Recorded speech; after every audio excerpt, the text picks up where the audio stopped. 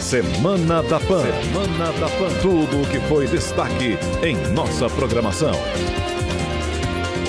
Olá, sejam bem-vindos à Semana da Pan. Eu sou Vitor Brown e apresento aqui um resumo dinâmico de tudo o que foi destaque na nossa programação. O início da semana foi marcado por uma polêmica envolvendo a exoneração de Abraham Weintraub do Ministério da Educação. O assunto foi discutido no programa 3 em 1. O governo federal voltou atrás e publicou nesta terça-feira no Diário Oficial da União uma retificação sobre a data de exoneração de Abraham Weintraub do Ministério da Educação. A saída do agora ex-ministro foi anunciada na última quinta-feira. No entanto, a exoneração só havia sido oficializada no sábado, depois de Ventralb viajar para os Estados Unidos. Na retificação, o governo estabeleceu que a exoneração passou a valer na sexta-feira, um dia antes do que constava no decreto anterior. Como citamos ontem aqui no 3 em 1, a suspeita é que Ventralb tenha usado a condição de ministro para desembarcar em Miami e assim driblar as restrições de viagens para brasileiros em razão da pandemia de Covid-19. Em entrevista à CNN, Ventralb reforçou que não cometeu crime ou ilegalidade ao entrar no país. Abro aspas. Não houve crime algum. Pode apostar. Nunca fiz bobagem. Não vou começar agora, já velho. O ex-ministro ainda ressaltou não ter dupla cidadania, mas não quis especificar se usou o passaporte brasileiro comum ou o passaporte diplomático. Nesta terça-feira, o Ministério da Educação revogou o último ato assinado por Abraham Weintraub, que extinguia o estímulo aos programas de cotas para negros, indígenas e pessoas com deficiência em cursos de pós-graduação. A palavra agora está com a Thaís Oyama. Paulo, eu vou começar pela questão aí da portaria, até porque eu fico me perguntando se alguém ainda aguenta essa novela de Ventral. Mas sobre a questão das cotas da pós-graduação, goste-se ou não delas, e eu particularmente não gosto. Eu não gosto porque eu sou contra o critério racial, fenotípico, acho muito mais justo e criterioso o critério da renda. Mas, goste-se ou não dessa política, eu queria lembrar que ela foi estabelecida depois de uma longa, longa discussão que começou antes de 2012. Ela envolveu uma porção de gente, entidades, ministérios, Supremo, professores, alunos, teve debate, teve bate-boca, teve, ela foi precedida por uma lei ordinária, depois de uma decisão do Supremo sobre a constitucionalidade das políticas de ações afirmativas, até que, por fim, ela virou essa tal dessa portaria 2000, de 2016, portaria que o ministro Weintraub se achou no direito de derrubar com uma cadetada, assim, para fazer um grande finale, para fazer bonito para a plateia dele, que foi o comportamento dele durante todo o tempo que ele durou na pasta. E foi uma encenação, porque até o ministro Weintraub sabia que aquilo não ia se sustentar, né? Mas uma encenação um pouco constrangedora, como tantas, que ele já tinha protagonizado no ministério. Ele sabia que aquilo não ia durar nem o tempo do voo. Quando ele chegasse nos Estados Unidos, o negócio já tinha sido derrubado. Aí, quanto a essa lambança toda que o governo fez para uh, aparentemente ajudá-lo a driblar a quarentena e sabe Deus o que mais, eu acho isso mais uma vergonha e também mais uma tremenda perda de tempo para o Brasil e para a educação ficar discutindo o destino desse senhor Ventral. Da minha parte, Paulo, o ex-ministro pode contar com a minha sincera torcida para que ele fique nos Estados Unidos. E por muito tempo. Rodrigo Constantino. Olha, Paulo, essa história de como ele entrou nos Estados Unidos e saiu do Brasil pegou mal, pegou mal para o governo. Né, porque ficou parecendo realmente que ele saiu às pressas. Se existe alguma coisa mais grave, deveria ter exposto. Estava com medo de prisão, não sei. É, e uh, entrar com, ainda como ministro, não sabe se também se usou ou não o passaporte diplomático, e depois é, é, revisto o, o, o, momento da sua demissão. Ele foi demitido na sexta, sendo que na sexta-feira foi revogada é, essa portaria. Então, tudo, tudo muito estranho, pegou mal. É, eu acho execrável é, segregar a população com base em, no critério racial. Acho que isso não tem nada a ver com combater o racismo, pelo contrário, né? Uma lógica muito esquisita. Acho também que isso criou no Brasil e vem criando tribunais raciais em universidades, o que é uma coisa temerária e que remete, isso sim, ao nazismo, né? E acho louvável ele tentar é, derrubar isso. É, mas acho que os, os, meios importam, né? Então não pode ser na calada da noite, no apagar das luzes, dessa maneira. É, acho que ele foi é, perseguido e é perseguido pelos motivos errados, já tive a oportunidade de colocar isso aqui. E espero que o seu sucessor no MEC tenha sim um quadro técnico de gestão, como todo mundo prega, né, a importância, mas que não menospreze a guerra cultural. Um dos grandes problemas da, do ensino público brasileiro hoje é, obviamente, o viés ideológico, a doutrinação, a péssima formação dos professores, imbuídos aí de uma mentalidade de vitimização, de marxismo, de Paulo Freire. Você, Josias. O não satisfeito em fazer da sua passagem pelo Ministério da Educação um fracasso, o Abraham Weintraub consegue transformar a saída é, numa tragédia. E ele faz isso com a ajuda do Palácio do Planalto foi indicado para uma sinecura internacional na diretoria lá do Banco Mundial. E aí o Ventralb deu ao seu deslocamento do Brasil para os Estados Unidos um conteúdo de fuga. Se estava ameaçado, o ministro podia é, é, procurar a Polícia Federal. É, pedido de prisão não havia contra ele. Então não se sabe que ameaças ele estava sofrendo. Aí ele fornece material para que o representante do Ministério Público junto ao Tribunal de Contas da União, Lucas Furtado, requisitasse uma abertura de investigação. É, Deseja-se saber agora se o Weintraub entrou em Miami usando um passaporte diplomático de ministro, um cargo que ele já não ocupava. Curiosamente, embora o personagem tivesse anunciado sua saída na quinta-feira passada, dia 18, aquele vídeo constrangedor que ele estava ali do lado do a exoneração só foi publicada no sábado, numa edição extraordinária, depois que o Weintraub já tinha entrado nos Estados Unidos. Agora, acossado por essa curiosidade do procurador do TCU, o Planalto altera a crônica da demissão do ministro. Ah, o ato de exoneração foi republicado, com uma correção, aí se informa agora que a data correta é dia 19. Aí continua no ar aquela pergunta incômoda: como fez o, o, o ex-ministro para escapar da quarentena eh, imposta pela Casa Branca para viajantes procedentes do Brasil? Como ministro, o Weintraub seria beneficiário de uma exceção. Mas se ele já não era ministro, como é que ele atravessou a alfândega? O Planalto alega que demorou a publicar a exoneração do Weintraub porque só recebeu o pedido no sábado. Aí publicou com a data errada, porque só percebeu na segunda-feira que no pedido do ministro ele é, mencionava que a, a, data correta era dia 19, pedia para ser é, publicada é, com data retroativa. Tudo isso é uma conversa mole, porque quando quis afastar o Marcelo, o Maurício Valeixo da Polícia Federal, da Direção-Geral da Polícia Federal, o Bolsonaro mandou publicar um ato no Diário Oficial com assinatura que o então ministro Sérgio Moro disse que não, não, não deu, baseado num pedido de demissão que o, o Valeixo disse que nunca formalizou. Aí depois corrigiu de novo, tirou a, a, assinatura do Moro, que de fato não tinha assinado. Quer dizer, aos pouquinhos, o Diário Oficial vai se transformando no governo Bolsonaro numa fonte de fake news. Você não tem mais segurança nem quanto ao passado, que já ocorreu. Na quarta-feira, a integrante do grupo 300 do Brasil, Sarah Winter, e outros cinco ativistas deixaram a prisão. Olha, o ministro Alexandre de Moraes, do Supremo Tribunal Federal, autorizou que a líder de grupo de apoiadores do presidente Jair Bolsonaro, Sara Giromini, e outras cinco pessoas deixassem a prisão aqui no Distrito Federal. Todos, no entanto, serão monitorados por tornozeleiras eletrônicas.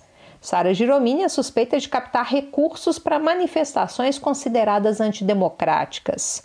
Para preservar as investigações, o ministro do Supremo proibiu os acusados de manter contato entre eles e também com outros participantes de grupos extremistas, além de parlamentares e empresários que estão sendo investigados.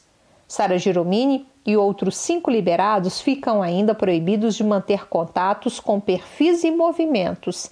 Devem ficar a pelo menos um quilômetro do Supremo Tribunal Federal e do Congresso Nacional. O grupo ainda deverá ficar recolhido dia e noite, com saídas apenas com autorização para trabalho e estudo. O grupo prega o fechamento do Congresso e do Supremo Tribunal Federal. A gota d'água, no entanto, foi a manifestação ocorrida no último dia 13 de junho, em que fogos de artifício foram atirados em direção ao STF.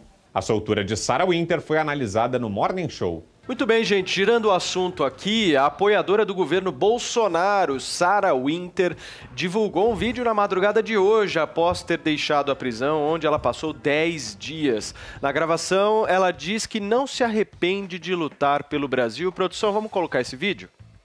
Boa noite. Sarah Winter, o que sobrou da Sarah e o que tá renascendo da Sarah. Foram 10 dias baixo uma prisão arbitrária que até a hora de hoje, passado já as 10 horas da noite, eu ainda não sei o motivo. Talvez eu nunca saiba. E hoje, uma pessoa enquanto eu estava colocando uma tornozeleira eletrônica, sim, senhores, eu estou usando uma tornozeleira eletrônica. Como se eu fosse exatamente um bandido ou representasse qualquer perigo à segurança nacional verdadeiramente. Alguém me perguntou: Sara, você se arrepende?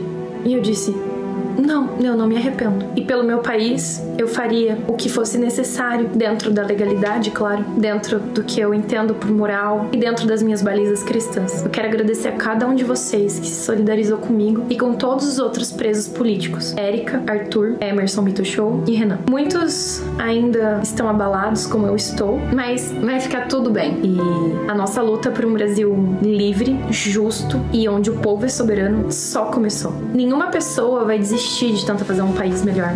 Ninguém vai sentir medo mais ou qualquer tipo de aflição. Foram dias muito, muito horríveis. A pior coisa é você ser apoiadora do presidente Bolsonaro e estar tá num presídio. Você escuta coisas e ameaças horríveis contra você, contra sua família. Eu vou falar isso mais pra frente em outros vídeos, mas no momento eu queria dizer para vocês obrigada e não desistam. E que não seja mais necessário nessa nossa pátria que haja mais presos políticos. Que o sacrifício da nossa liberdade não tenha sido em vão e que possa inspirar no coração de vocês uma luta para que a gente possa mostrar a todos aqueles que acham que mandam nesse país que quem manda de verdade somos nós. Adrile Jorge, meu caro, que leitura que você faz sobre todos esses contornos que essa história ganhou?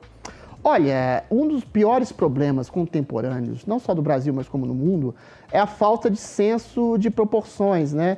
É você equalizar, por exemplo, um sujeito que olha de maneira insidiosa para a mulher com um sujeito que estupra a mulher na padaria e arrebenta com ela. Tudo é enquadrado na lei de estupro hoje em dia. Eu acho que essa é uma questão muito complicada. A Sarah Winter é a mesma coisa. Ela é um personagem eminentemente agressivo, incisivo e absolutamente ridículo. Você soltar fogos de artifício, ameaçar trocar supapos com o ministro, uma menina de um metro e meio, um ministro de quase dois metros de altura, você dizer que vai perseguir a família do ministro. Aí vai lá a polícia e apura que lá no, no, no, no QG desse grupo terrorista havia simplesmente camisetas, uh, rojões, cartazes, não havia rigorosamente nada. Ainda mais para ser enquadrado nesse tipo, ainda mais para ser enquadrada nesse tipo de lei de segurança nacional que é uma estrovenga do governo ditatorial dos anos 70, uh, eh, muito abstrata, qualquer tipo de difamação à ordem pública. Olha, picharam o muro da, da, da, ministra Carmen Lúcia, já depredaram a esplanada, movimento sem terra, movimento sem teto, já fizeram isso várias vezes, nenhum deles foi enquadrado na tal famigerada Lei de Segurança Nacional. O problema é transformar um personagem em um grupo ridículo que empunha tochas ou solta rojões em um grupo terrorista. Aí isso é grave. Isso sim é um sintoma claro de perseguição política de grupos que são conservadores, que sejam reacionários que seja. Mas não há nenhum tipo de legitimidade uh, para condenar uma ação que é eminentemente patética. Mais que patético, é arbitrário, é autoritário, é ditatorial fazer com que essa menina use tornezeleira eletrônica, que seja impedida de se comunicar com outros grupos. Quando a gente tem pessoas como Zé Dirceu, Lula, Azeredo, pessoas condenadas pela corrupção mais visceral da história do país, que estão aí, livre, leve e soltas. Ou seja, é aquele eventual, usar uma expressão do meu querido Constantino, duplo padrão. Então fica a impressão clara de que um STF aparelhado por juízes progressistas tem uma percepção de qualquer pessoa que ah, é, é, é, alimente um afã ideológico mais conservador, mais à direita, seja tratado de maneira distinta e diferente do que aqueles seus ah, cordeirinhos, okay. que às vezes empunham paus, pedras, coquetéis molotov, são agressivos, mas são sempre legitimados porque fazem isso em nome da democracia. É a suprema hipocrisia federal. Zé Maria Trindade, Zé, você concorda com a Adrilho e você acha um certo exagero essa questão da tornozeleira? Olha, eu acho que não. É, Adriles, é, eu olho para a Sara e tenho a impressão assim da, de uma figurinha repetida no álbum, daquela que você vai colar e já tem uma lá.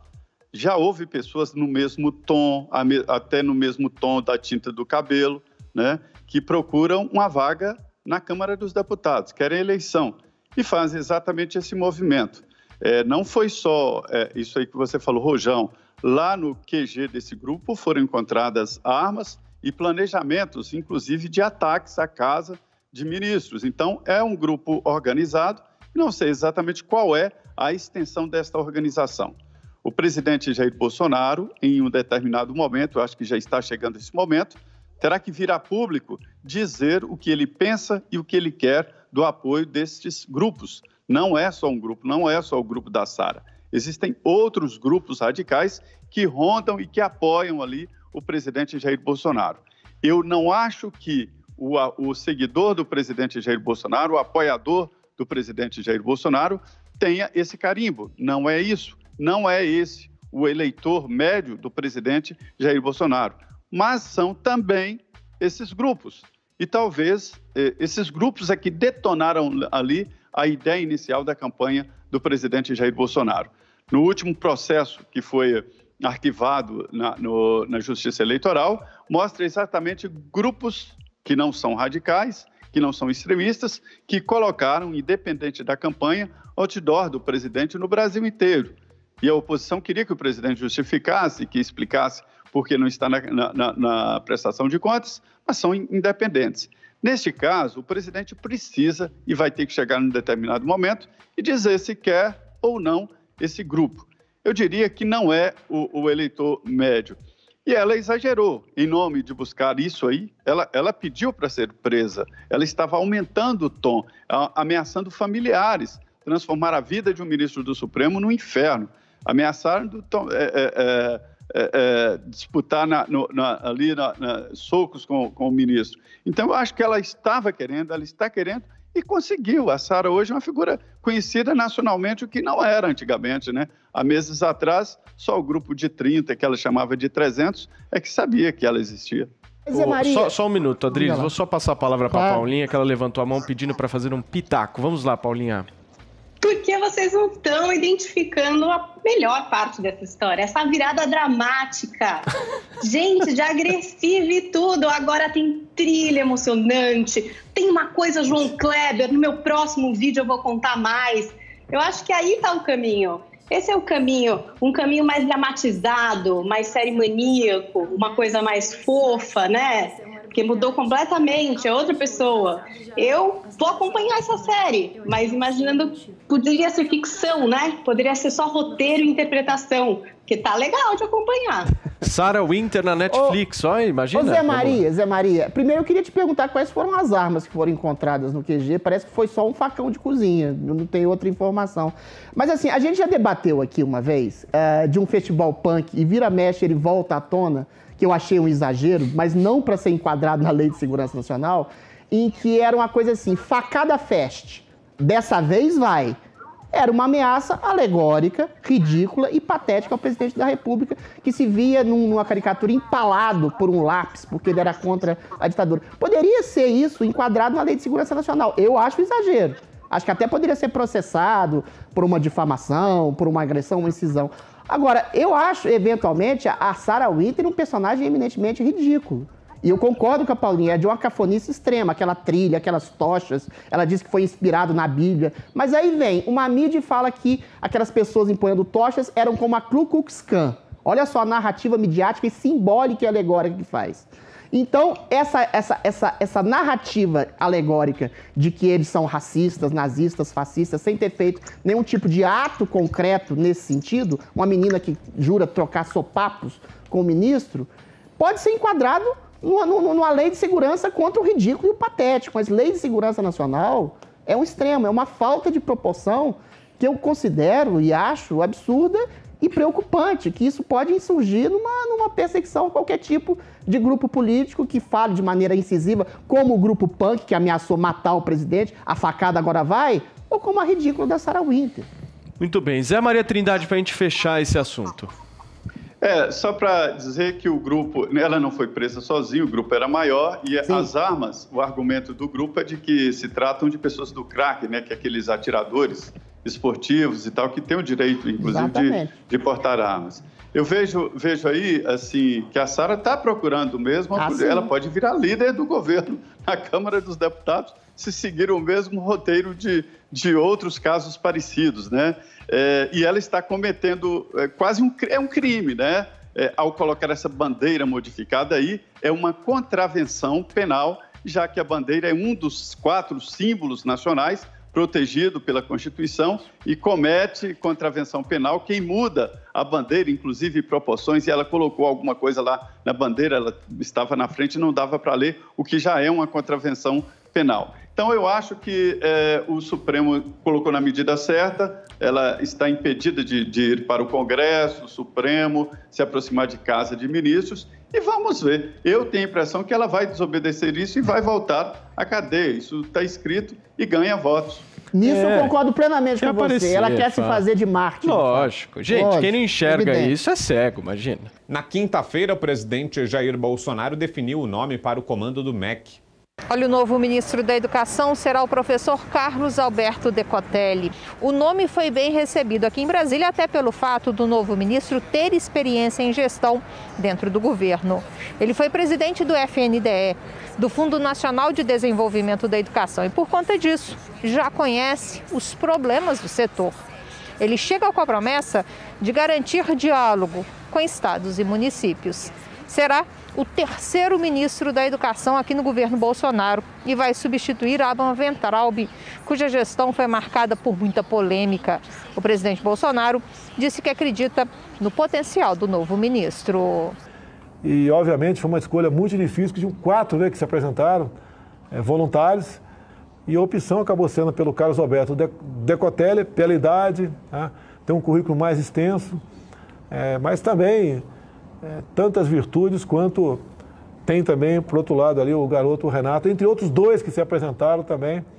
É, como candidatos aí a, a, a ser ministro da, da, Educação. O presidente ainda elogiou o secretário do Paraná, Renato Feder, que esteve essa semana aqui no Palácio do Planalto e também era cotado para assumir o ministério. Lá no Congresso Nacional, o presidente da Câmara, o deputado Rodrigo Maia, disse que a mudança parece ser positiva, apesar de não conhecer bem o novo ministro. Eu tive com ele só uma vez, quando ele era do FNDE, ele veio aqui ao gabinete, mas não tenho nenhuma informação, conhecimento sobre o trabalho dele. Tem um bom currículo, mas eu de fato não tenho conhecimento do, do trabalho dele. Mas, né, certamente vai ser melhor que o ex-ministro. Rodrigo Maia afirmou ainda que é preciso ter uma pessoa equilibrada e com a cabeça no lugar dentro do Ministério da Educação. O presidente aposta agora num nome técnico para substituir os dois ministros anteriores que eram da chamada ala ideológica do governo. O novo ministro é o primeiro-ministro negro do governo Bolsonaro. A escolha de Bolsonaro foi comentada em Os Pingos nos Is. Vamos começar então nossa conversa. Fiuza, começa com você. Queria saber o que é que você achou do nome anunciado hoje pelo presidente Jair Bolsonaro do novo ministro da Educação. Vitor, é, vamos observar, né? O perfil é bom, é qualificado. Acho que ele deu uma, uma primeira declaração que me pareceu interessante.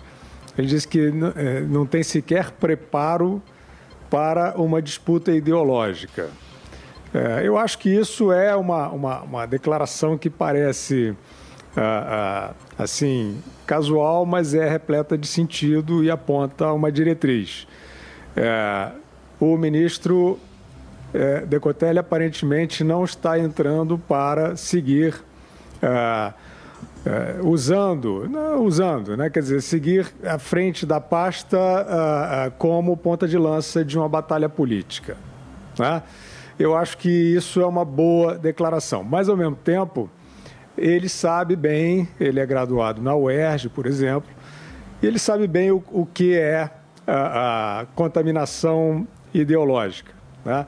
Ele sabe bem, aliás, o quanto todo o sistema de ensino brasileiro está ah, intoxicado né? por ah, diretrizes ideológicas, né? na pedagogia, fora a questão dos cargos, fora a questão dos sindicatos que dominam, é, dos partidos, principalmente PT e PSOL. Então, eu acho que ele vai entrar é, numa linha mais discreta, aparentemente, né? Lealdade ali ao, ao, ao, presidente, né? O presidente ali, acho que a preocupação do Bolsonaro principal é não ser é, traído, digamos assim, por alguém é, que vá seguir a, a, é um certo um certo conchavo que existe na comunidade acadêmica, né? Um conchavo ideológico. Então, a diretriz ali, Vitor, uh, que aparentemente ele vai seguir, ele já falou, por exemplo, sobre rapidamente sobre uh, calendário de retomada das aulas presenciais.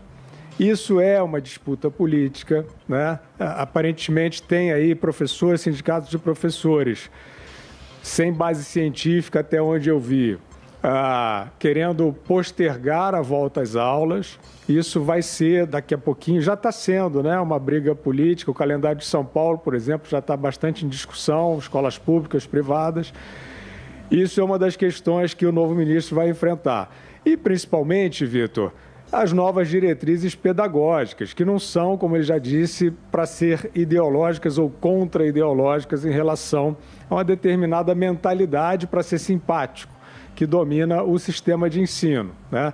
É, o, o, Brasil, assim, não só o Brasil, precisa de diretrizes claras é, para acabar com um certo proselitismo, com uma certa demagogia né, supostamente progressista que está dominando aí os currículos e os, os sistemas de ensino nas salas de aula no Brasil. E você, Augusto, suas primeiras impressões? Olha, queria reforçar o que, e reafirmar o que disse o meu querido amigo Guilherme Fiuza.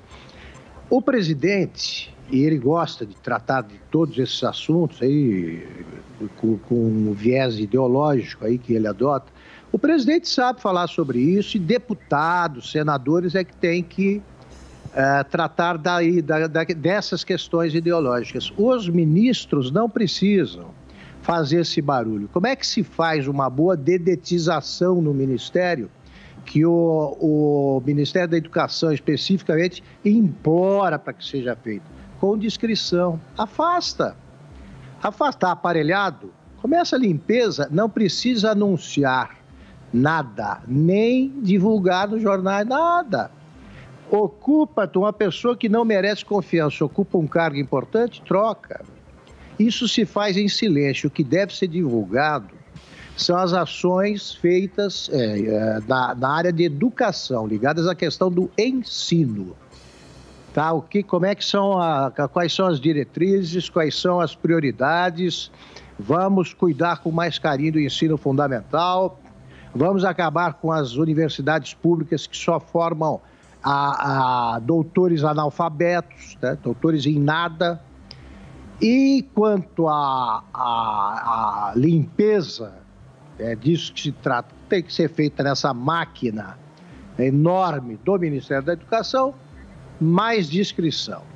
Agora, que é preciso enfrentar os, os uh, escravos da ideologia esquerdista, aí basta o exemplo dos professores que o Guilherme mencionou.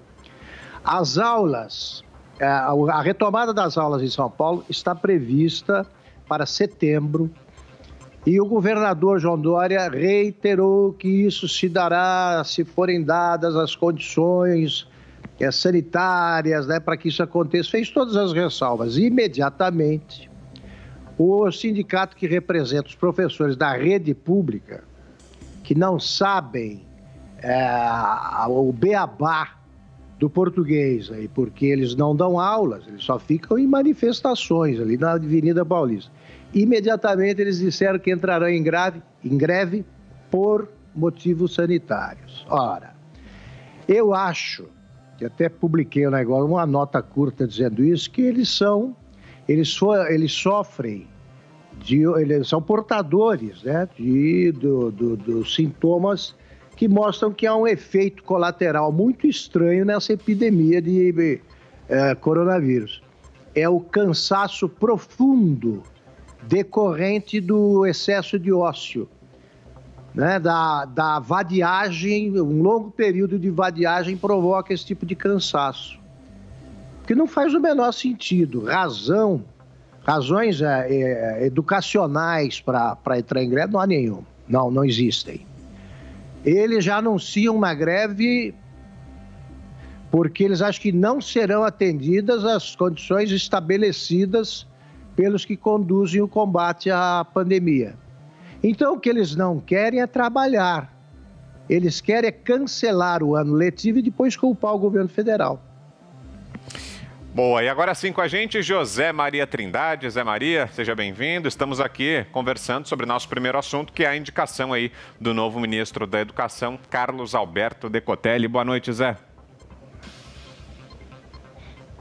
É isso, muito boa noite, estou acompanhando aqui. Olha, Vitor, foi uma surpresa, foi uma surpresa. É, o presidente conversava com outros nomes, inclusive o secretário de Educação é, lá do Paraná, né, do Ratinho, ouviu é, é, outros setores e tal, e decidiu, portanto, por um oficial da Reserva da Marinha. Para quem acha que o governo do presidente Jair Bolsonaro tem militar demais, na verdade é uma disputa, inclusive, inclusive entre forças, né? O pessoal da Marinha e da Aeronáutica está meio ressentido, dizendo que o presidente só tem olhos para o Exército, o famoso EB, o verde-oliva, e esquece dos uniformes azul e branco.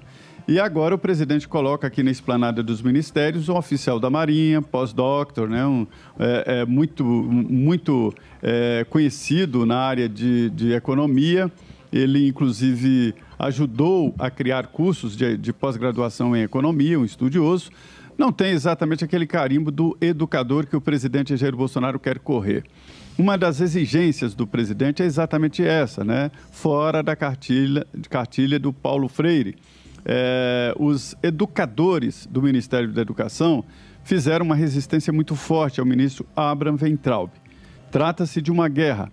É, o novo oficial da Marinha, oficial da Reserva, está entrando numa guerra interna ali que ele saberá conduzir. Primeiro, porque tem experiência em gestão, em administração e chega depois de uma terra arrasada. Porque a guerra que foi levada pelo ex-ministro Abraham Weintraub deixou cicatrizes e deixou muita gente sem saber o que fazer no ministério. Agora ele pode chegar e pacificar. É, é, não é exatamente da área de educação, mas é o que é, o Ministério aguarda. Um estudo do IPEA mostra que o problema no Ministério da Educação e a qualidade do ensino do Brasil não é falta de verbas, mas sim falta de gestão. A educação brasileira precisa de método e precisa de gestão. Esse estudo do IPEA indica que municípios que nem investiram tanto, mas que adotaram é, métodos eficientes, comprometimento, consequência, ou seja, um, um, projeto longo que passa de governo para governo, esses municípios têm melhores resultados. Ah, e quase ia me esquecendo, ele é o primeiro negro no primeiro escalão do governo do presidente Jair Bolsonaro. Mas posso te garantir, não foi por isso que ele chegou aqui à esplanada. Você está acompanhando aqui a Semana da PAN, o resumo de tudo que foi destaque em nossa programação. Voltamos já. Estamos de volta com o Semana da PAN, o resumo de tudo que foi destaque em nossa programação. Ainda na quinta-feira, a Justiça do Rio de Janeiro aceitou um habeas corpus apresentado pela defesa de Flávio Bolsonaro para que o senador seja julgado pela segunda instância no caso das supostas rachadinhas. A decisão foi discutida no 3 em 1. Muito bem, a terceira Câmara Criminal do Tribunal de Justiça do Rio de Janeiro decidiu nesta quinta-feira, por dois votos a um, por acatar o pedido de habeas corpus da defesa do senador Flávio Bolsonaro e concedeu a ele um foro especial. Agora, com a decisão, o processo sobre as rachadinhas sai da primeira instância e será avaliado pelo órgão especial, na segunda instância. Os desembargadores afirmaram que, que o caso deveria tramitar na segunda instância, mas que as decisões tomadas até aqui não seriam anuladas imediatamente, ou seja, o órgão especial precisaria reavaliá-las. Entretanto, em nota, a defesa de Flávio Bolsonaro informou que insistirá junto ao órgão pela anulação de todas as decisões e provas obtidas desde o início das investigações. Com a transferência do processo para a segunda instância, a investigação também sairá das mãos dos promotores do grupo de atuação especializada no combate à corrupção e irá para a alçada da Procuradoria Geral de Justiça. Vamos lá, Josias. O senador Flávio Bolsonaro vai se tornando um personagem paradoxal. A cada vitória judicial que ele conquista, fica mais parecido com um culpado. O primogênito do presidente da República se revela capaz de menos de apresentar uma defesa que enfrente o mérito das acusações que fazem dele uma biografia em processo de apodrecimento. O Flávio Bolsonaro pleiteava duas coisas: foro especial e anulação do processo da rachadinha, com tudo o que há dentro dele. Ele obteve uma vitória parcial, conseguiu transferir a encrenca da mesa do juiz de primeira instância, Flávio Itabaiana, que é o titular da 27ª eh, Vara Criminal do Rio de Janeiro, para um órgão especial do Tribunal de Justiça do Estado. Esse órgão especial é composto por 25 desembargadores. O deslocamento é um escárnio. A defesa do Flávio Bolsonaro alegou que ele tem direito a foro privilegiado, porque era deputado estadual quando os crimes de que ele é acusado aconteceram. E aí, por dois votos a um, a terceira turma do Tribunal de Justiça do Rio de Janeiro deu aos advogados de Flávio, eh, deu razão a eles, deu ganho de causa a eles. Essa decisão é um escárnio porque ela não encontra respaldo na jurisprudência do Supremo Tribunal Federal. O ministro Celso de Mello, eh, que é o decano da Suprema Corte, acaba de enviar para a primeira instância o processo em que Abraham Weintraub é acusado de racismo. Ele fez isso porque o Weintraub não é mais ministro. Portanto, ele perdeu a chamada prerrogativa de foro. Assim como Flávio Bolsonaro também perdeu o foro especial dos deputados estaduais, que é o Tribunal de Justiça do Rio de Janeiro, quando ele deixou de ser deputado estadual. Ele já tinha tentado levar o caso para o Supremo, mas o ministro Marco Aurélio disse não, isso não é cabível, não é concebível, porque embora ele tenha sido eleito senador, os crimes foram praticados quando ele era lá deputado estadual. E tendo perdido o mandato de deputado estadual, tampouco ele dispõe do foro do Tribunal de Justiça. Então é na primeira instância mesmo que ele tem que ser julgado. A vitória foi parcial, porque foram mantidas por hora, por enquanto, eh, as provas que foram reunidas nesse processo e também as decisões do juiz Itabaiana, incluindo a prisão do Fabrício Queiroz e o, o mandado que faz da mulher dele, a Márcia Oliveira, uma foragida.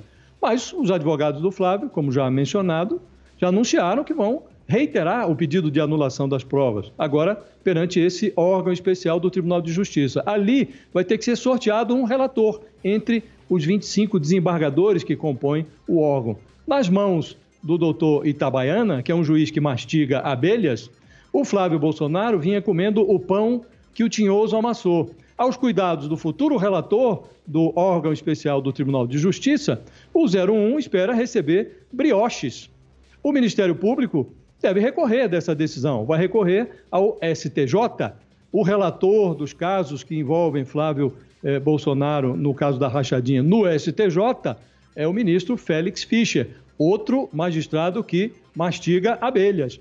Então é possível que essa eh, decisão seja revertida mais tarde. O problema é que isso tudo retarda o processo e é tudo o que deseja o Flávio Bolsonaro, porque ele não tem elementos para enfrentar o mérito das acusações. Enquanto isso, ele vai frequentando os corredores do Senado Federal, como se nada tivesse sido descoberto sobre ele, é, frequenta a cena política como uma biografia subjúdice e o pai dele vai arrastando aí o filho como uma bola de ferro, também é, à espera de que o judiciário dê um desfecho para esse caso. É hora do Flávio Bolsonaro se explicar. Esse retardamento eterno não faz bem nem ao senador, nem ao país, nem ao judiciário. Será que agora a Thaís me escuta? Sim, acho ah, que agora está melhor. Você agora escuta, sim. Paulo? Sim, Thaís, vamos lá então com seus comentários. Então, eu estava dizendo que o, os desembargadores deram uma no cravo, outra na ferradura, aceitaram a ida para a segunda instância do caso Flávio Bolsonaro, mas recusaram-se a anular as medidas aqui até aqui tomadas pelo juiz Itabaiana, né, o que incluía a prisão do Queiroz e a quebra dos sigilos bancário e fiscal dessa turma toda. Mas, sem nenhuma dúvida, o saldo foi positivo para o Flávio Bolsonaro. Por quê?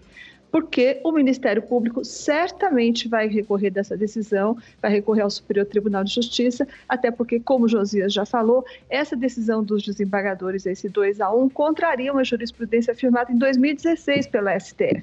Então, eles certamente vão recorrer. E a defesa de, do Flávio Bolsonaro também já avisou que vai buscar a nulidade de todos os atos do juiz Itabaiana, o que faz sentido diante dessa decisão dos desembargadores, porque se os desembargadores consideraram a primeira instância incompetente para ação, então os atos que essa instância adotou, decidiu, podem muito bem ficar sob suspeita. Aí, em última instância, o caso pode parar até no STF, onde, de novo, as chances de o Flávio Bolsonaro perder aí sim são grandes por causa dessa jurisprudência firmada pelo tribunal em 2016, mas até aí, na prática, vai ser uma enrolação tão grande que isso, essa decisão de hoje, no mínimo, no mínimo, vai arrastar as investigações, que é tudo o que o senador deseja.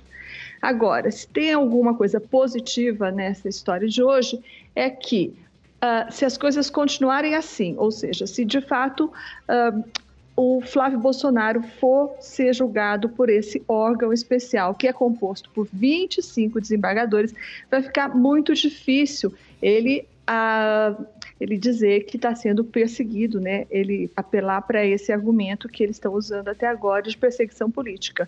Porque uma coisa é você ser julgado por um juiz e outra coisa é você ser julgado por 25, julgado e perseguido né? por 25 desembargadores. Muito bem, vamos ouvir agora o Rodrigo Constantino. Olha, Paulo, óbvio que é uma vitória importante para o Flávio Bolsonaro, né? E os seus advogados o papel de advogado que é usar todas as possibilidades legais para favorecer o cliente. Agora, isso mostra como é, a justiça do Brasil tem brechas, né? ainda mais para quem é da casta protegida aí do, da casta superior dos políticos, né? Foro privilegiado, e aí esse debate todo é por conta disso, né? Na época da acusação da rachadinha, ele era deputado e, portanto, tinha é, é, o benefício do foro privilegiado, o que já é algo condenável, né? É, então isso mostra justamente que a turma poderosa tem sempre acesso a todo tipo de recurso para protelar quase ad eternum o encontro com a justiça né, é, basta lembrar a quantidade de gente que teve ali seus casos é, enterrados, né, justamente porque prescreveram é, os, que, os que tinham que ser julgados pelo Supremo Tribunal Federal. Né? É a coisa que mais tem ali é prescrição de, de acusação recaindo sobre esses políticos. Então, o que todo mundo quer é que o caso vá parar no Supremo Tribunal Federal. É, ali é uma mãezona, né?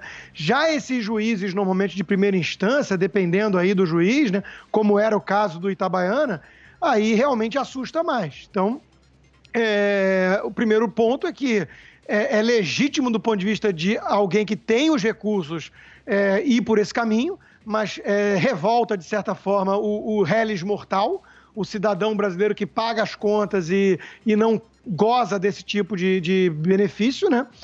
É, é importante destacar aqui que o, a própria defesa do, do, Flávio alegava que havia ali o fato dele ser o filho do presidente, um, um excesso de holofote que pode ter prejudicado o caso, e, e chama atenção realmente a, o, o, avançado que está o seu caso em, em relação, vis-à-vis, pelo menos, os demais, né? lembrando sempre que ele era o 17º nome naquela lista do COAF de movimentações suspeitas, então fica sim pairando sobre toda a justiça o que acontece com os outros casos todos, para não ficar parecendo perseguição, isso é algo que ainda fica devendo, né, o, o, o poder judiciário, o Ministério Público e tudo mais. É, vale lembrar que a questão do crime em si, de que ele é acusado, né, especificamente aí a questão da rachadinha, de novo, é, não é porque todo mundo faz que você vai aceitar, mas é preciso contextualizar de que é uma prática, infelizmente, muito disseminada nos gabinetes e, inclusive, transformada em estatuto no próprio PT, por exemplo. Né, você tem lá o quadro do PT, quando você consegue um cargo público desse, você tem uma, até uma, uma lista de proporções ali para você devolver para o partido, né, uma espécie de dízimo. Então, isso é uma rachadinha, né, dentro do estatuto do próprio PT. Então, eu acho que isso aí tem que servir, o caso, já que deu esse holofote todo por ser o filho do presidente, tem que servir para rever muita coisa. Né? Não pode ser, de novo, aquela justiça caolha e seletiva. Tem que servir para que tenham mudanças isonômicas no sistema como um todo. Primeiro, uma mudança geral e uma perseguição geral, se for o caso, a todo mundo que praticou essa, rachadinha, e aí vão sobrar poucos ali na Alerj. E, e não só na Alerj. Né? E segundo, é, essa questão do foro privilegiado está mais do que na hora da gente voltar a debater. Josias pediu a palavra.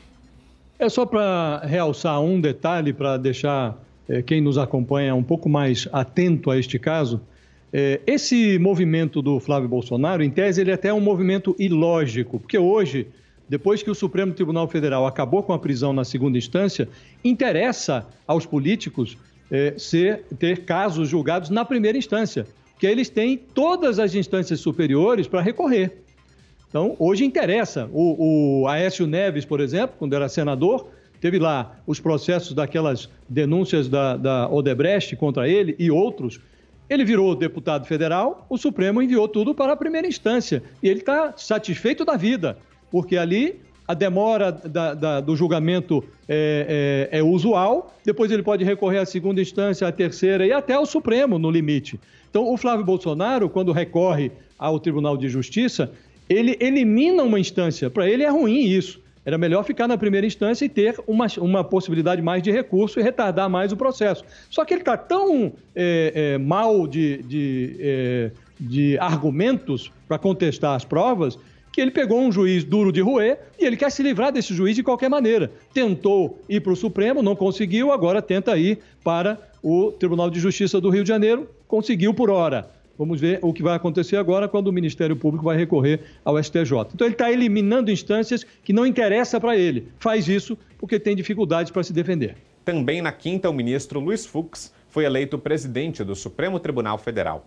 O ministro Luiz Fux foi confirmado como próximo presidente do Supremo Tribunal Federal. A escolha foi feita em uma eleição interna entre os 11 integrantes da corte, normalmente um rito simbólico.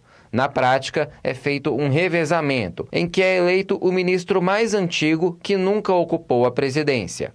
O processo estava marcado para agosto, mas foi antecipado devido à pandemia da Covid-19. Luiz Fux assume a chefia do Poder Judiciário no dia 10 de setembro, sucedendo o atual presidente Dias Toffoli. A ministra Rosa Weber será a vice-presidente.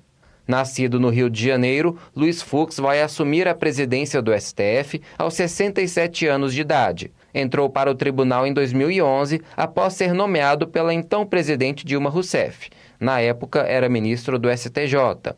Nos últimos anos, tem se alinhado a posições defendidas pela força-tarefa da Operação Lava Jato, como a prisão após condenação em segunda instância e a aplicação da Lei da Ficha Limpa no início do mês, proferiu uma decisão afirmando que as Forças Armadas não têm poder moderador sobre o Executivo, Legislativo e Judiciário. Em entrevista exclusiva aos Pingos nos Is, o ministro Paulo Guedes falou sobre o impacto da pandemia de Covid-19 na economia brasileira e mundial. Eu não acredito. O, o, o, a economia é um organismo vivo. Da mesma forma que é muito difícil você prever o efeito de um vírus sobre um organismo particular, que é um organismo vivo, alguns reagem bem, alguns reagem mal. A economia é um organismo vivo.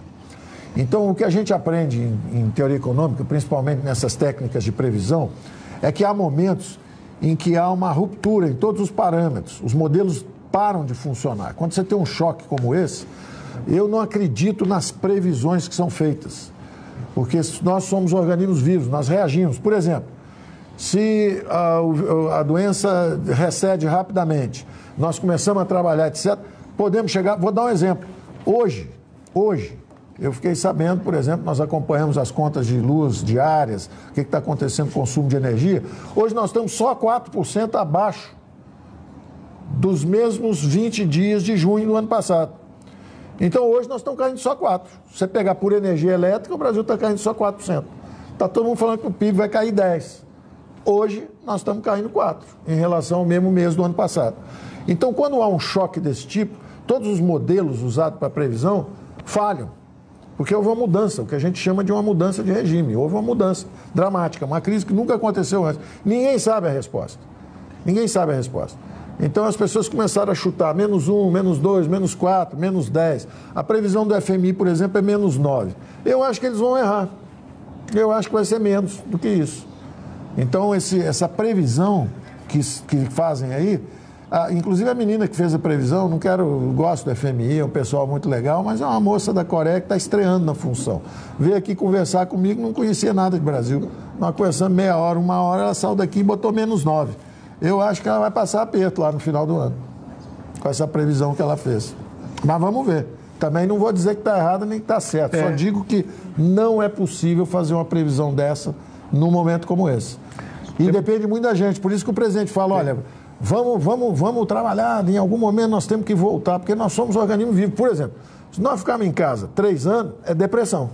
É garantido, é depressão. Três anos em casa, vai parar a produção, para consumo, para tudo. É um limite. No outro limite, se a gente sair amanhã, todo mundo correndo, de repente, pode ser que a doença também espalhasse mais rápido. Então, é um equilíbrio difícil. O presidente foi, é, quando ele disse, olha, tem duas ondas, a primeira é da saúde, bateu na gente, depois vem a da economia. Ele chamou atenção para isso. Cuidado, que se ficar todo mundo parado, aí vai ter o dinheiro que nós injetamos, tem um trilhão aí circulando, mas a prateleira vazia, se ficar todo mundo em casa. Ainda bem que o pessoal do campo, justamente como tem distanciamento social natural, o cara no campo, ele está no campo, aberto, distante um do outro, eles mantiveram a produção e eles estão salvando o Brasil. É quando você fala do campo, né? Em alguns estados foi proibido ir na praia. Agora o OMS diz que o sol faz bem para o elemento aí transformar a vitamina D ah, então, quanta coisa errada foi feita durante a pandemia. A semana também foi marcada pelo plano apresentado pelo governo de São Paulo para a retomada gradual das aulas em setembro. O governo de São Paulo anunciou nesta quarta-feira a retomada das aulas presenciais em todo o estado a partir do dia 8 de setembro. O retorno será feito em três etapas. Na primeira, voltam 35% dos estudantes depois 70% e finalmente 100%. Nas primeiras fases, os alunos que ainda não estiverem indo às escolas deverão continuar assistindo às disciplinas online em esquema de rodízio. O governador João Dória, do PSDB, diz que as medidas afetam mais de 13 milhões de crianças e adolescentes e valem para todas as instituições de ensino, públicas ou privadas. Incluindo uh, aqui nas decisões de hoje da creche à universidade, rede, rede pública estadual, rede pública municipal e, igualmente, as escolas particulares de ensino. De acordo com o secretário de Educação, a ideia é que essa retomada seja feita em conjunto, com todo o Estado na fase 3 amarela do plano de flexibilização. Rocieli Soares ressaltou, no entanto, que caso alguma cidade retorne para a fase 1 ou 2 do plano, as escolas desses locais precisarão ser fechadas novamente. Então, o retorno será junto. E este retorno somente após 28 dias dentro do amarelo. Se uma região, porventura, regredir, ou seja, a gente já abriu as escolas, chegamos, ficamos 28 dias no amarelo, abrimos as escolas. O que, que acontece se uma região tiver algum, por exemplo, é, problema e tenha que regredir para a fase laranja ou até a fase vermelha? Aí nós vamos tratar a exceção ali naquela região, mantendo o estado aberto. O secretário, que se recupera da Covid-19, ressaltou que a retomada depende de que todo o estado esteja na fase amarela do Plano São Paulo por quatro semanas seguidas. Além disso, as escolas deverão seguir protocolos, como preservar o espaço de um metro e meio entre os estudantes e fazer revezamentos nos horários de intervalo, entrada e saída. O uso de máscaras será obrigatório para alunos e professores e os bebedouros só poderão ser utilizados com copos ou canecas. O governo ainda não decidiu quando o ano letivo de 2020 será encerrado. O secretário Rocieli Soares cogita ainda a implantação de um quarto ano opcional. As aulas presenciais estão suspensas desde o dia 23 de março. O assunto foi analisado no Morning Show. Muito bem, Paulinha, queria conversar contigo. Você é mãe de duas crianças, né, Paula? Quantos anos têm os seus filhos? Sim, 6 e 8. 6 e 8. Eu sou pai de Sim. uma que vai completar agora dia 30, um aninho. Eu tô vivendo uma situação diferente da Paula, porque eu deveria colocar já já a minha filha em escola, né? Só que eu e a minha esposa, Paula, nós estamos revendo. Eu acho que esse ano a gente nem vai colocar a Helena numa escola, porque acho que não faz o menor sentido, né? Qual que é a tua preocupação com a volta das aulas com seus filhos, Paula? Ah, tem muita preocupação. É, eu acho legal ter um projeto detalhado, porque é bastante detalhado, né? Essa questão, por exemplo, do uso de máscara. É muito complicado para a criança, né? Os meus filhos, eles tentam usar, mas você vê que ali estão amplamente incomodados e é, a gente usa para acessar aqui algumas áreas sociais do prédio, porque enfim, a determinação do, conteúdo, do condomínio e você vê que eles não gostam. Eu fico imaginando usando isso o dia inteiro. É, manter o distanciamento, talvez com menos da metade dos alunos em sala de aula seja possível, mas depois com retorno de 100%, como é que você vai manter um distanciamento social, né? A gente sabe como são as salas de aula, o contato mesmo da criança com a outra criança que é super importante. Eu estou muito dividida a respeito dessa história e não é só por uma questão do regresso em si, mas é até pelo psicológico das crianças, né? Porque eles estão numa expectativa muito grande de voltar e aí se volta, e depois se tem um caso, vai fechar de novo, aí manda as crianças de volta para casa. É muito confuso para eles entender o que está acontecendo e talvez essa nossa insegurança também reflita sobre eles. É, mas, por um lado, é esperançoso você imaginar que vai ter uma volta. É muito ruim ficar nessa situação de imaginar que não vai ter jeito, que até ter uma vacina não tem como. É, e eu acho que, mesmo com as medidas de segurança, é muito difícil de delimitar isso para a criança. Essa é a impressão que eu tenho. E também essa questão de surgir ali no núcleo familiar alguém detectado com Covid, o que é que se faz? Vai se fechar a classe, as pessoas vão ter que não ir mais, né? E tudo isso é muito confuso. Então eu fico insegura, para dizer a verdade. A gente gravou um manual do filho com o psicólogo Thiago Tamborini, que é especializado em criança e adolescente. E ele falou que alguns pais estão decidindo por não levar. Você falou em não colocar sua filha na escola. Tem muita gente com filho no infantil que ainda não está alfabetizando e que tirou o filho da escola. Inclusive, muitas escolas que só têm infantil acabaram fechando aqui em São Paulo, porque não conseguiram mais pagar os seus funcionários, porque os pais resolveram simplesmente acabar com o ano, né? No sentido de escola, não vai ter mais, então vamos tirar, não pagamos mais a mensalidade, essas escolas estão sofrendo muito. Eu acho que é uma coisa muito delicada e que cada família vai decidir. E a escola, no sentido, não, não sei se da escola pública, mas na particular, pelo menos, vai ser muito pressionada a manter as aulas virtuais.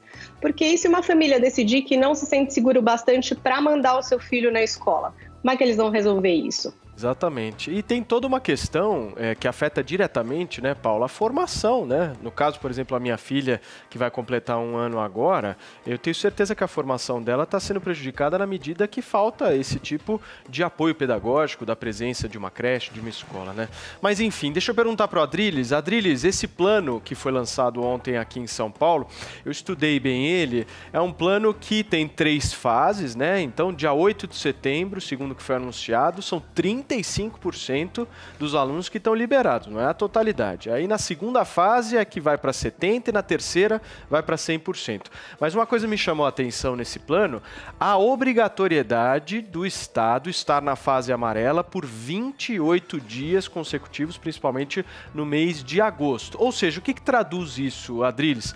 É, não está certo dia 8 de setembro, não. Foi lançado uma data, mas isso não quer dizer que realmente aconteça, né?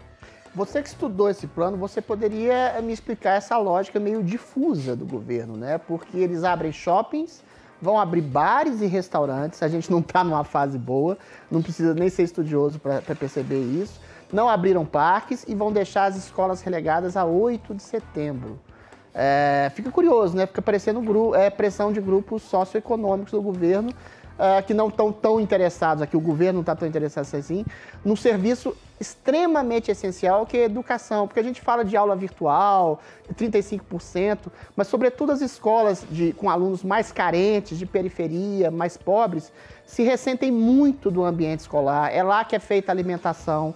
Grande parte desses alunos provavelmente não vão voltar. Hoje, hoje eu estava vendo uma matéria do Estadão de São Paulo que mais da metade dos alunos parece que vai, vai, vai recorrer em, em evasão escolar. Esses alunos que são mais pobres, mais carentes, ficam à mercê Uh, de grupos de crime organizado, uh, ficam à mercê de eventual violência doméstica, de má situação doméstica com os pais desempregados. Ou seja, a escola presencial ela é fundamental para a formação do aluno mais carente. E esse déficit, né, esse tempo espaçado de não aprendizado, uh, só realicerça, só aprofunda as desigualdades sociais. Eu acho que a escola uh, nesse sentido, é um serviço essencial, tão essencial quanto saúde uh, e comércio de alimentos. Né? Então, eu Muito acho bem. temerário esperar até 8 de setembro. Eu acho que a vida uh, tem um quê de risco calculado. Realmente é muito complicado essa volta à escola. É muito complicado uma criança manter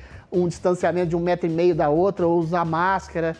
É, eu acho que a gente vai ter que repensar a questão do isolamento, sobretudo isolamento de grupos mais vulneráveis. Né? É claro que vai ser precário esse tipo de, de isolamento, de distanciamento social dessas crianças. As crianças, é bom lembrar, não são um grupo de risco da Covid, mas elas vão ter que ficar distanciadas, sobretudo de idosos, seus avós.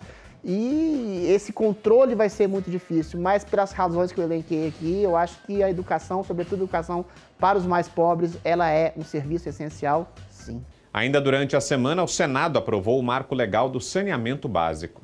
Por 65 votos a 13, o Senado aprovou o projeto que muda o modelo de contratação de empresas para serviços de tratamento e coleta de água e esgoto. A premissa é abrir mais espaço para a presença de empresas privadas com a abertura de licitações. Pela lei que está em vigor, os municípios fecham contratos com empresas públicas estaduais do setor sem concorrência. Durante a sessão, o presidente do Senado, Davi Alcolumbre, mostrou apoio à proposta. Em um momento de pandemia, de saúde pública, saneamento é saúde, água tratada é vida. Combater o Covid é votar essa matéria sancionar essa matéria e construir um Brasil mais promissor e mais justo. Outro objetivo do texto é que até o ano de 2033, 99% da população tenha acesso à água potável e 90% ao tratamento e à coleta de esgoto. De acordo com o relator, senador Tasso Gereissati, do PSDB, 35 milhões de pessoas no Brasil não têm acesso à água tratada e 104 milhões não têm coleta de esgoto. Para ele, o projeto vai tirar o país do atraso. O Brasil, em pleno século XXI, não pode aceitar ter condições de saneamento equivalentes àquelas que alguns países europeus já tinham no início do século XIX resolvido. O projeto também impõe metas para a empresa que for contratada, como expandir os serviços, manter um padrão de qualidade, além de eficiência e uso racional dos recursos e reduzir as perdas na distribuição de água tratada. Parte da oposição fez críticas ao texto e votou contra. O senador veneziano Vital do Rego, do PSB, acredita que a participação de empresas privadas pode prejudicar as regiões mais remotas do país. Eu não tenho a certeza e a segurança que essa universalização, que é tão rica, que é tão proliferada, que é tão exemplificada, chegará de fato aos rincões, aos grotões. Eu não tenho essa segurança. O projeto ainda prorroga o prazo para o fim dos lixões, antes estipulado para o fim de 2014. Pelo texto, o limite passa a ser 31 de dezembro de 2020, exceto para municípios com um plano específico para isso. Nestes casos, vai de agosto de 2021 a agosto de 2024. A decisão foi comentada por Augusto Nunes no Jornal da Manhã. O Brasil dá um passo em direção à civilização. Né? 100 milhões de brasileiros estão fora da, coleta, da rede de coleta de esgoto. 35 milhões não recebem em casa água tratada. O Brasil deu um, vai dar um grande passo, vai ganhar dinheiro com isso. vai, vai extirpar uma chaga né, deixada também pelo governo do, do PT e coerentemente o PT votou contra, depois de dois anos tentando impedir a votação desse projeto, dessa, desse marco apresentado pelo governo Michel Temer. Depois de dois anos, o PT votou contra. 65 senadores foram sensatos e aprovaram. Você acompanhou aqui a Semana da PAN, o resumo de tudo que foi destaque em nossa programação. Para mais informações, acesse jp.com.br. Um grande abraço e até semana que vem todos os destaques da semana. Semana da Pan.